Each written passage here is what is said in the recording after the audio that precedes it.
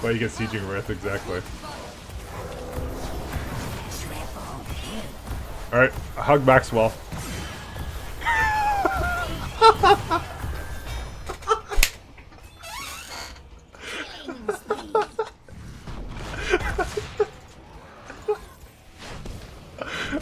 oh shit.